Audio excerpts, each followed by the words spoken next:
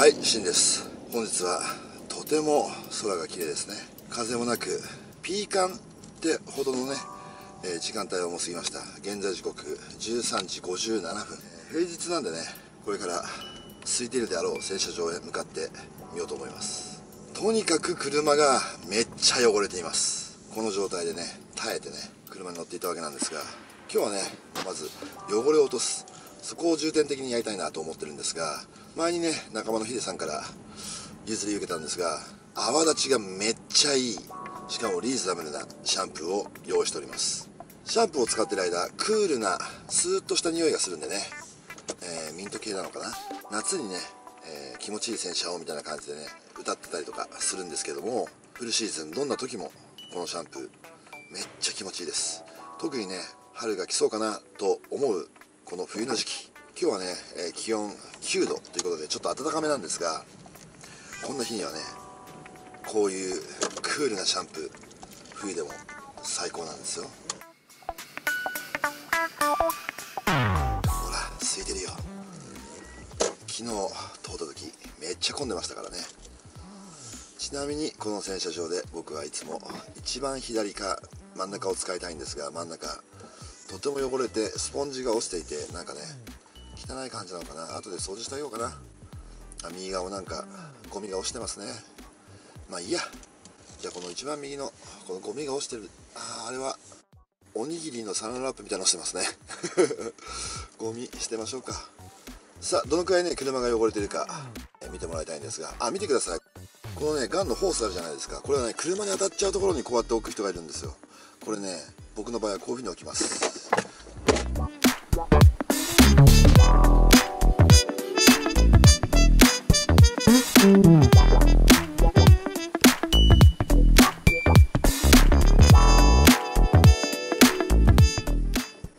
こうすればね車をここまで進めてくださいってところに行く前に、えー、ホースが当たることがないんですね。はい。皆さんね洗車場ではねジェットガン戻す時ホースの位置もねちょっと気にすると優しいのかなと思います。さあ車がどれだけ汚れているか見てください。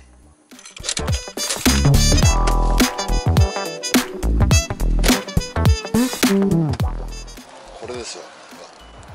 めちゃめちゃ汚いの分かるこれをね洗いたくてしょうがなかったんですよ。表面がねザラザラに感じるぐらいもう汚いの。タイヤハウスのね横飛び跳ねるでしょこうやって汚いでしょ？ほら。綺麗にしないとね。ね。こんな感じでしょ。ほら。汚れてるでしょ？見てちょうだいこれ。わかる？これこれは洗車気持ちいいでしょ。ね。こっちの方がヒョウ柄。大阪のおばはんみたい。これねあんまり放置しない方がいいんだよ。ほらエンブレム周りも。ね。もうかっこつかないでしょ？そして俺が洗車するのが一番好きなリアバンパー。こんな状態よ。なぜかヘッドライトは綺麗なのよ。やー洗車場もめっちゃ空いてる。超綺麗に洗えますからね。今日はシャンプー編。前にもね、えー、紹介したことのあるシャンプーばっかりなんですが一番左のねこのストーナーのシャンプーコーティングシャンプーなんですね。洗い上がりがすごい滑らかで拭き上げとかもすげえ楽なんですよ。車が全然傷ついてないなみたいなのがすごいわかります。そしてこのねワックスやコーティングを落とさないシュアラスターのカーシャンプー1000クリーミーな泡立ちって書いてあるじゃないですか。まあこれが標準的ですね。普通に汚れてる時はこのシャンプーを使うって感じです。本日使うのはこのルックスのクールシャンプー。クールシャンプーって書いてあるとまあ夏に使ったらちょっと気持ちいいのかなとか車のボディがひんやりするのかなとかそんなこと全然なくてミント系の香りがついてるシャンプーということで洗ってる時にちょっとね気持ちいい感じの匂いがするんですねでこれがね安いんだけどめちゃめちゃ泡立ちがいいこのね3つをね、大体王道で使っています。あんまり汚れてない時、ね、さっと洗いたい時、なぜならばこれ泡立ちが全然良くないの。で、これは普通の汚れの時。そして、このルックス。今日はめちゃめちゃ汚れてる車のボディを洗ってみようと思います。この泡立ちのいいシャンプーがどのくらい汚れをきれいに落としてくれるか、汚れを落とした後、ボディの表面はどんな感触になるのか、ちょっと試してみたいと思います。違う動画で泡立ち汚れ落とし泡切れ洗い流した後の質感などね、えー、その4点に絞ったシャンプー対決などもしますんでまずはねこのクレルックスクールシャンプー泡がモコモコしてて調子いいんで皆さんご覧になってください。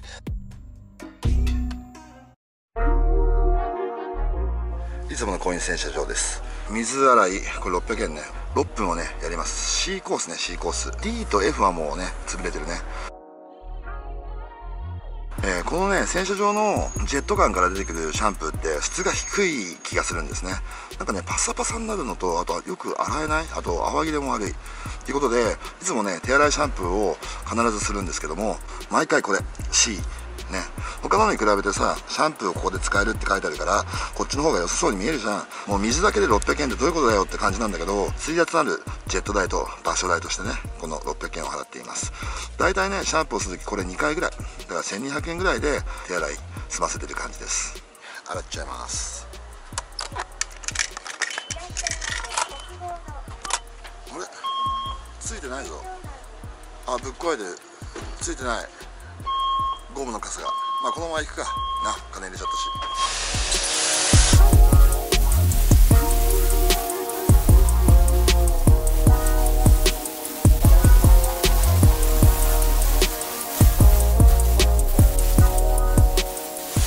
やっぱねジェット大事。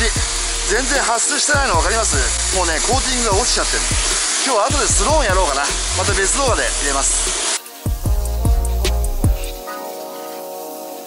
大体完成。で少し時間余るんだけどそのままねバーッと流しちゃいます。ボンネットがエンジン温まっててね熱くなってるんでよく冷ましてください。ね。冬だったら問題ないと思うけど。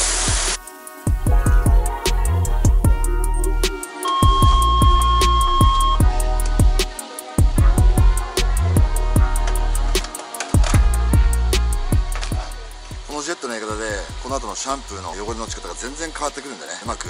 コツをつかんでみてください、えー、素人なりの自分なりのコツだけどジェット講座みたいなのをね動画に1本してみたいよね。えーと、どのくらい汚れがジェットで落ちたか1回確かめてください。見えるかな？もうね黒いつぶつぶみたいなのはないです。でもねこれがね見えない汚れがいっぱいあるんですよ。まだ汚れわかるかな？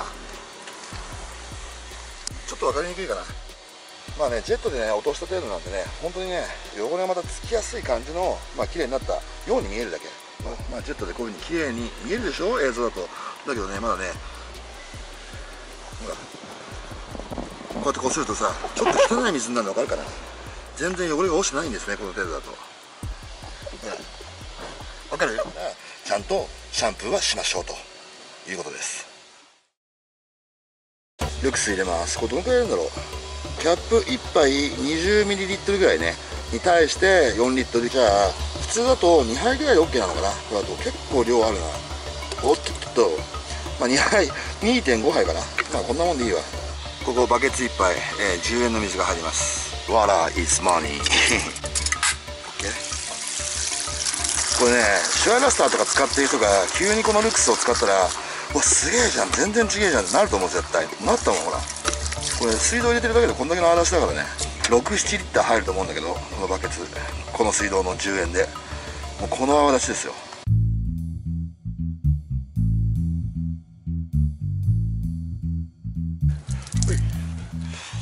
バケツの中で泡立ちが良くてもこうやって洗ってると泡がなんか少ないなって思うものってあるじゃないですか。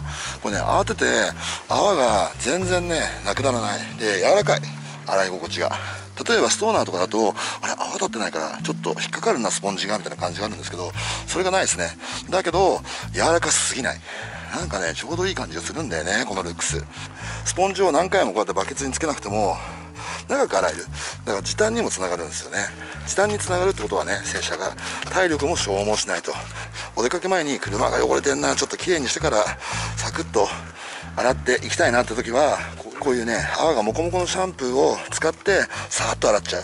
みたいなのがね結構いいと思います。これね結構ほんと使えると思う。このルックスのクールシャンプー。じゃあ実際に一番汚れがきついとこね一回洗ってみます。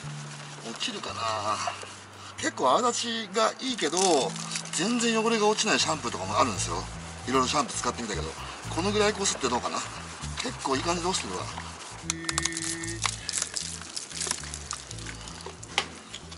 あ大体落ちてるけどまだ細かくね頑固なやつがついてるね。これはねシャンプーじゃ落ちねえな。あとこれはね傷。もうちょいこすんなきゃダメだなこれ。結構汚れてたからね。こういうのとかもう試着して固まっちゃってるからもうねちょっとこすんないとダメ系の柔らかいスポンジじゃダメだなっていうね。もうしょうがない。普通。だけど全然悪くない。そういう感じですかね。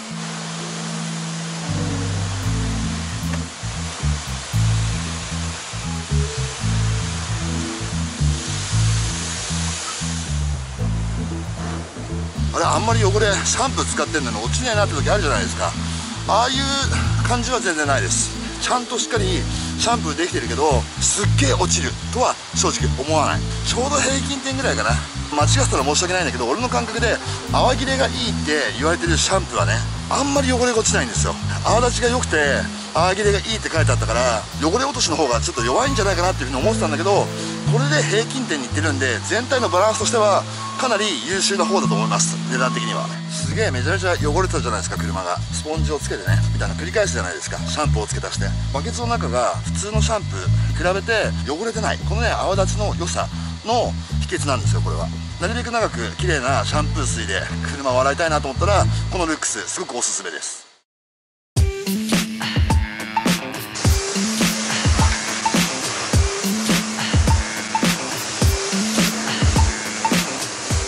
シャンプーはね上の方から塗ってだんだん水は低気に流れるでしょ？これをねうまく使わないと、まあ、効率よくないと。あともったいないとシャンプーもほら見てこれ。泡立ち。お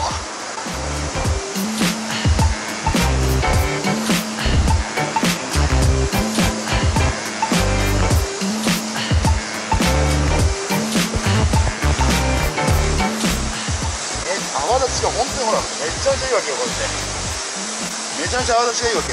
でシャンプーって作ってから時間が経つとね最初は泡がさビールみたいにわーって出るんだけどなくなっちゃうやつもあんの泡が。だけどこれは最後の最後はね超クリーミー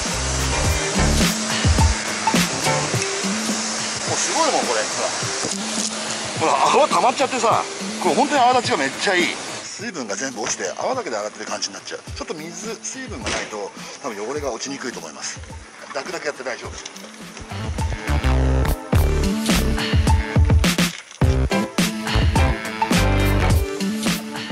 ここが好き。洗車ってさ自分の好きなパーツを洗ってるのが楽しいってことに気づいた。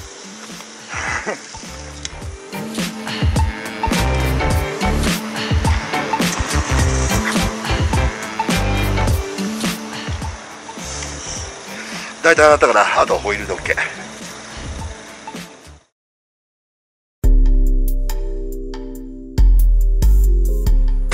もうねこのホイール洗ったらもうすすいちゃいますからね。20時から逆回しにしようかな今日は。どっからねこれねスポーク始めたかね覚えとかないと二度手間になっちゃうからね。ぐるぐる回しちゃうこともあるんだけどあとボディを洗う前にホイールとかタイヤを先に洗ってから洗った方がいいって言ったりすると思うんだけどこういうコイン洗車場とかだとそういう風にやった方がもしかしたらねいいのかもしれないけどあんま関係なかったっすね俺。シャンプーがもったいねえなとか手間がめんどくせえなと思ってねボディから洗っちゃう。まあ本当の車好きって言ったらねいろんなレベルがあると思うんだけど洗車って本当めっちゃ楽しいよね。表面はねやっぱこっちのスポンジよりもこっちの方がいいね。さあ皆さんミントの香りがする芯のところへ。いらっしゃい。こんな感じなるほどね。汚れが落ちてくるとミントの香りが強くなってくる気がするな。それも一個のコツなのかな。よっしゃー。こんな感じでいいだろう。な。な。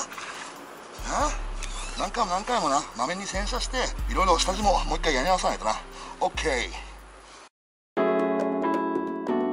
もう一回ねフロントガラスやったんだけど右と左水分の濃さが違うんですね。水分が少ない方が左側多かった方が右側。泡立ちがいいシャンプーを買った方がいいなって思いがちだけど水分がね必要です必ず。乾くのが早い。あとはジェットガンで水で流して泡切れがどのくらいいいのかっていうのと手で触ってみてどんな感じのテイストなのか簡易コーティング剤なのかちょっと高めのスローンを使うのかっていうのを考えてみるって感じですね。もうこの時点でわかるんだけど例えばスパシャンのスローンとか簡易コーティング剤なんだけど良さげなものちょっとね膜が厚く貼られるものを使うとちょうどいい気がします。だから今日はこれでめっちゃいい。じゃあさっと流しちゃいます。泡切れがいいかどうか試してみようと思います。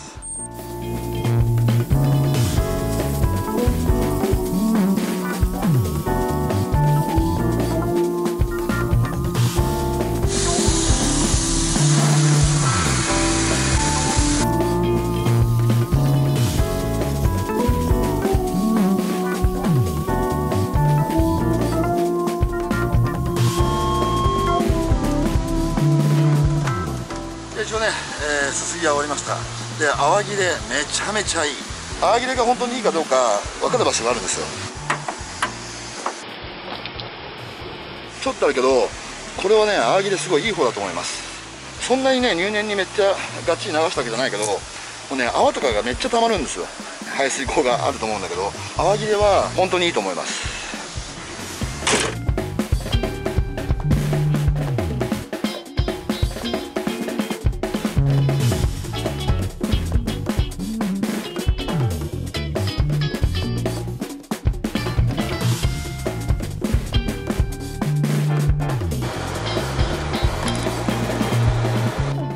拭き上げをする前です。ああ結構ねやっぱいいわこのシャンプー何気に。なんかさ近くで見ると洗って目立つじゃないですか、まあ、オーナーしかね気づかないようなところもたくさんあるとは思うんですけどもやっぱね全体を見てどうなのかっていうのはすごい大事なんでね。もしかしたらこのシャンプーじゃ落ちないかなみたいな感じで心配で思ってたんだけどちゃんとねボディがね綺麗に洗えてるのが分かります。うんまあ普通にシャンプーで洗った感じ？もうね汚れがついた時の気持ち悪さは全く一切ない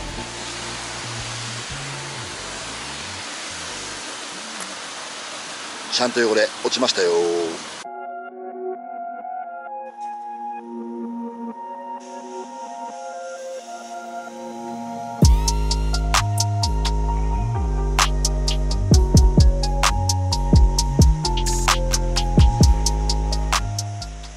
拭き上げてもね全然気持ちいいです。汚れが残ってると拭き上げてる時にちょっとね気持ち悪い感じがあったり引っかかる感じっていうのは全然ないですね。本当に標準的にねシャンプーとしての機能が効いている。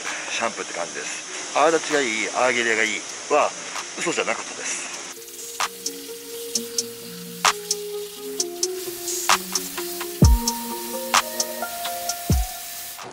あったあった。ね伝えなきゃいけないところが。まあ泡切れがいいっていうふうに言われていたんだけどねこの商品。こういうところが泡残ってるでしょ。ね。これさ泡立ちが良くて泡が強いわけよ。しっかり。まあここはね泡が残りやすい場所なんだけどわかるよこうトランクのこういうとこ。まあやっぱね水が通らないとダメだね。泡が強い。だからねすすぎの時はねボンネットトランク給油口とかあと窓枠ね。窓の間の隙間とかちゃんとジェットガンを当てて水を流した方がいいですね。給油口見てみようか。ね給油口はねちゃんと洗いました。ほら大丈夫。ちゃんと、ね、流せばねちゃんと落ちるんで泡立ちがいい分ねちゃんとすすぎもしましょうってことだねクリアのルックスクールシャンプーで洗ったよ。一応ね洗ってみて思った感想としては簡易コーティング剤を使うことをおすすめします。表面ね普通にシャンプーで洗った感じでキュッキュッって感じでね気持ちよく洗えるんだけども、まあ、洗浄成分は普通。泡切れもいい。泡立ちは見た通りめっちゃいい。だけど水分がないとその泡も活かせない感じがまあ正直したかなって感じです。この後にねまあできればね俺は撥水系の簡易コーティング剤を使うことが多いんだけれども 110ml1 万5000円のあの簡易コーティング剤使おうと思います。それはまた別動画でよろしく続きます。